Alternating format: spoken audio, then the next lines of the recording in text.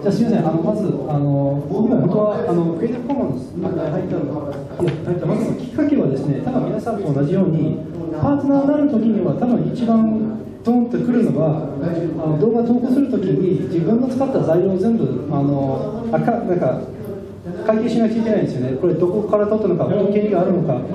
その前に、自分、多分な悩みかけるのが、使っている音楽は、あまり考えないで入れた音楽は、突然にこれ、権利があるのかって聞かれて、で多くの友達、YouTube の中の友達からでも、これ、どう答えたらいいのかって、どうすればいいのかって、よく、あの多分パートナーにとって一番、もう、激に感じる、最初なんかあの、パートナーになると、あの問題。で僕は今日ちょっと実力的にこれどう対応する、クリエイティブコモンズを生かしてどう対応できるのかと説明したいと思います。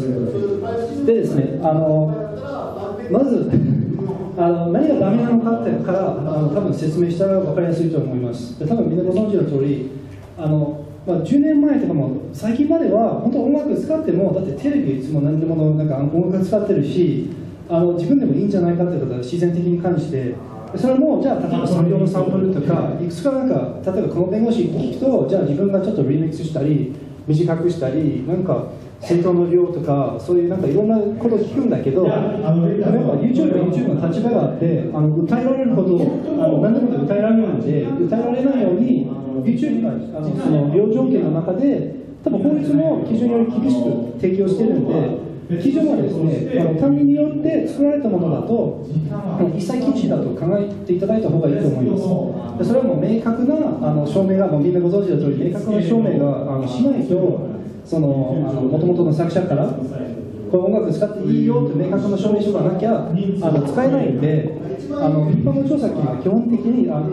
つまりあのその著作権の条件が明確になってないものに対しては YouTube は基本的に明確な曲がないと使えない。その明確な曲が2種類あるんですよ。一つは作者からメールか手紙かあの許諾ライセンス。これ非常に取りにくいんですよね。なんか一般の人が YouTube 投稿したいからなんか安室奈美恵の音楽使わせてくださいってなんか我々のものですよね。テレビ局できるんだけどちょっと立場弱くなったということで、まあ、クリエイティブコモンズっていうあの仕組みであの、まあ、YouTuber と同じような、まあ、素人っていうかととりあえず音楽を共有してもインターネットで普及して僕はメジャーじゃないんでで聞かれたいんで聞いてもらいたいんで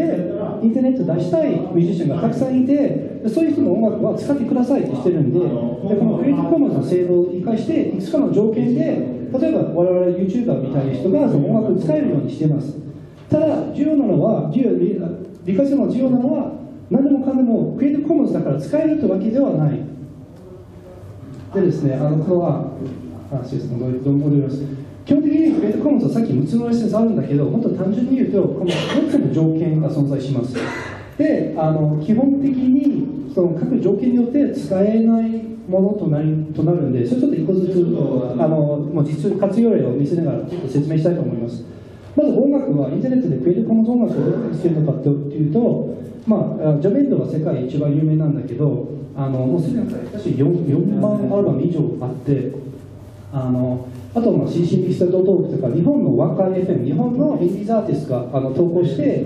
基本的にあのもうちょっと後ほど説明すると EYFC のライセンスで投稿してるんですけど、いくつかね、すぐにあの本当音楽いっぱいあるサイトがあの基本ベースのインディーズアーティストだけど、場合によって特別にあの商業的なアーティストも提供してるしてるサイトがあって、でちょっと自己 PR なんだけど、この ZenRemix.com っていうあのサイトは、カードにあるサイトは、これ実は自分が作ったサイトで、あとでちょっと見せますけど、これ全てのリンクはつけてるんで、自分で使ってますよ。あのクリエイティブコモンズの方で探したいと、リンク集みたいになってるんで、あのあととりあえずたくさんのサイトあります。で、あのまず単純に言うと、あの改変禁止っていうあの条件つけてると、これアーティストは、これ MP3 で音楽出してるんだけど、誰もこれあの変えないでほしいと言ってるんですよ。で日本においては、ちょっとややこしいところなんだけど、日本の解釈においては、使っていいことになってるんだけど、でも基本的に、他日本以外の世界的には、改変っていうのは、MP3 は MP3 のままだけにしてくださいから、基本的に動画を利用して禁止だと考えた方がいい。つまりですね、ここに、これ、ジャメンドの音楽のアルバムのページで、これはライセンス情報で、この改変禁止のシンボル、これ英語のシンボルで分かって、このシンボルがあると、これとりあえずパートナーとしては YouTuber としてはアウトだと考えた方がいいですね。だからもうこれ見るといい音楽だとイライラしますんであの聞かないようにします。だから今の聞いて使えないと思って頭くるんで。あの結構このサイトたくさん疲れるいい音楽があるんでブラウジングするの特にこのジャメイドというサイトを大変お勧めします。次ですね、あの非営利というあの条件、これは一番多い、一番よく使われている条件なんですよ。あのさっき言った日本の若い FM とこのジャメンドは初期のあの進めのライセンスとしてはこれ必ず入ってますね、この、まあ、ドルサイン使って。これは、採用はあの使っていいんだけど、自分が儲けしちゃいけない。で、これパートナーにとってはちょっと困る。だけど、まあ、パートナーとしてもね、自分が収益をつけない限りは使います。たまになんかその、いい動画作りたいと、これいい音楽使いたいから、じゃあまあいいや、この1回あの収益あのつけないようにして、投稿はできるんですけど、でこれ非常にあのコンテンツがたくさんあります、このライセンスつけてる。ただ、パートナーとしては、あのもし収益をこういう音楽をつけて収益をつけるんだったらそれは作者のあの利用条件を違反してるんで、まあ、著作権違反と普通の普通の著作権違反になりますあの基本的に認めてない利用となるんでこれでは作者がとりあえず金を儲けしない限りは使わないで僕直接連絡して交渉してくださいあの自分も儲けしたらそういう考え方なんですよ。でこれ例えばさっき言ったあすみませんこれもう一つあのサイトなんだけどあのこれ CC ミキサー .org これたくさんなんかピーとかそういうものがあってあの音楽のなんか、まあ、動画に使いやすい音楽いっぱいあって PYNC となってますね。そうあドルシブルの非営利があってこれは、まあ、使っていいんだけど収益をつけちゃいけない。であまさにそう。だからこの中でこれはつけられないんですよね。あのこれチェック入れなかったら使っていい。チェック入れたらダメですっていう考え方。で、あのもう最近で、これは確かにあの BY っていう条件が、これ YouTube も今あの、提供しているライセンスなんだけど、これパートナーにとっては、もしなんか特に収益を得るような動画とかしたら、対象コンテンツはこれです。ライセンスはこの2つ、2種類にしか使えないと考えていただいた方がいいと思います。これ、各サイト探してると、BY は、あのまあ、基本的に BY という標準っていうのは、あの義務はただ一つ、そのあの元々の音楽の作者のクレジットをつけないといけない。でそれどうするかというとあのあこれちょっと間違ってたまあいいですとりあえず、まあ、これ BBY の例であこのサイトも大変パートナーにお勧めしますあのこれはさっきのですねあのこの中で見せるとインコンパテックというサイトちょっとごめん日本語的には難しいところだけどまだこうゼロリミックスでリンクあるんだけどこれたくさんあの外国人のパートナーが使ってるサイトで音楽は全て BY のみですよ。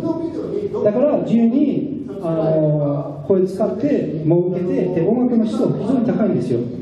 だからさっきのあのこのページはもうそのインコンパティブの一つの例なんだけどあのこれ探すとすごくいいものいっぱいあるんだけどじゃあその表示をこれのこの音楽使った時には基本義務は一つだけあの非表示ということで基本的に2つのやり方あります。今の YouTube ではなんか自動的にそういうフェイクコモンズのなんかあのエンペードはできないんでああ、まあ、できますけどあのクレジットする自分が使っている材料に関してはあのサイト外観のものまだできないということで動画の中で表示をする。例えば僕は自分のイントロで BY の音楽を使ってるんですよ自分のイントロ動画で上に僕がこう太鼓ドラムスっていうなんかあのとりあえずもう動画見た人が分かるようにしてもしくはあの動画の詳細の中でいつも下に Music is by Box の原永とリンクとそのライセンスを表示してます。とりあえず何なのかというと動画見た人はああの音楽いいね僕も欲しいと思うと動画の詳細から動画見見て分かるようにすればいいっていうもうすごい簡単な基準であのでちょっとさっきあのちょっと話し合ったんだけどこれちょっとややこしなんですけど継承ってことは継承があると自分が同じライセンスをつける義務を指す。つまり BYSA があると使っていいんだけど自分が BY のライセンスを自分でつけなくちゃいけない。あの義務が置かれる。つまり僕はシェアするけど使う人はお互いシェアしなくちゃいけない。どんどんどんどん普及して。それ例えば商業的にやってたらそれふさわしくないかもしれないんだけど、まあ、それ自分が配慮してでどうやってじゃあそのその場合はどうやってライセンスつけるのかというと、まあ、今 YouTube でも選択ができるんですけど YouTube の CC のサイトの中で動画に僕が使ってるこのような動画に入れれる画像、例えばこれでまた自分の動画の最後の方に、あの、UI のマークを動画の最後に、ページが著作権マークみたいにこの動画の中に入れたら、もうそれで気分が OK で、それで音楽が使っていい。ということで、でクリエイトコモンズ、あの一応なんか詳しく知りたいと、あのクリエイトコモンズジャパンっていうサイトがあって、あのクリエイトコモンズ .jp で、これ細かくあの全てのライセンス説明があって、であと YouTube の中でもですね、あのクリエイトコモンズの僕が立てたいろんななんかクリエイトコモンズの情報の動画があるあの集めてるって日本語であの字幕とか日本語の説明を作った動画がありますんでこれで分かりやすくね2分であの何でもかんで理解できるようなものがいっぱい入ってますんであとですねあの今の話は全て自分が書いたブログの元にも全部全てありますんで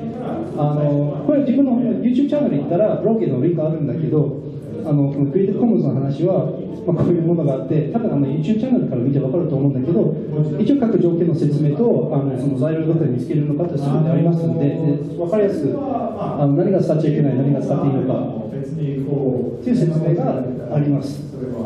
で、時間ちょっと、three more minutes.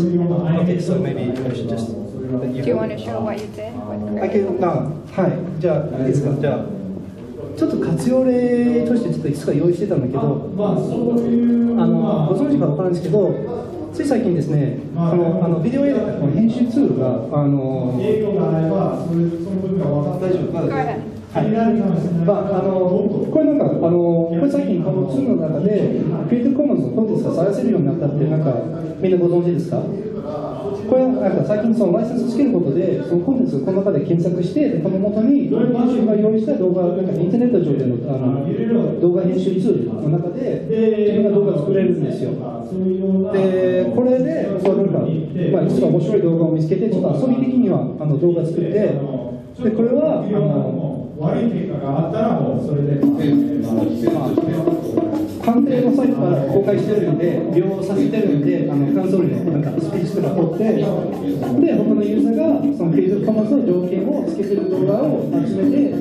編集するんで動画を作って、それであの CC ミキサーというサイトからドラムビートの音楽をつけて、で、こうやって、ちょっともう合わせて編集してであの動画情報の中で全部クレジットつけてるんですよ。で例えば自分の動画を合わせてこういうコンテンツとかは、まあ、さっき言ったルールちょっと従ったら例えば特に DY の音楽だったらまあ自分のコンテンツもっと面白くしてあのこういうマッシュアップが編集できるんで、まあ、非常に、まあ、や少しやりやすくなってそういう音楽の頭のかかるところは少し上げるんじゃないかと思います。はご自分のチャンネルにアクセスしていただいてで動画エディターのボタンをクリックしていただけるとこの画面に行くんですがで、えー、この画面の CC というマークをクリックしていただけるとここでクリエイティブコモンズの、えー、コンテンツが検索できると。でここにすでにいくつか並んでますが並んでますがもしくは、えっと、サーチもできます。で、えーとここは動画のサーチの画面ですが、猫。と検索をすると、えー、クリエイティブコモンズの、えー、つまり、えー、ルールにのっとって使っていい動画が表示されます。でこの動画を使ってご自分の作品を、まあ、シャープで作ったりとか、えーことができると。でこちらは動画ですが音楽に関しても、えー、クリエイティブコモンズで、えー、音楽の検索も。さっき言ったジャネミスのサイトで音楽が欲しいとあの特にこのトップでジャメンドとかミスターとかこういうワッカーとかこういうサイトからあの使える音楽も YouTube で使って大丈夫な音楽がたくさんあって中でね品質の高いものもありますんででまたいつもどこでも自分の同じユーザーネーム使ってるのでおすすめの音楽もあの 僕ヒコサイトで探したらサイトの中で僕のおすすめ音楽も保存してますんで。えーと、ちょっと時間が短くて駆け足になってしまったんですが、えーと、この後懇親会にお二人も参加していただく予定ですのでもし具体的なご質問がありましたらその場ででもあのぜひお気になってみてください、えー、今日はありがとうございました。以上で終わります。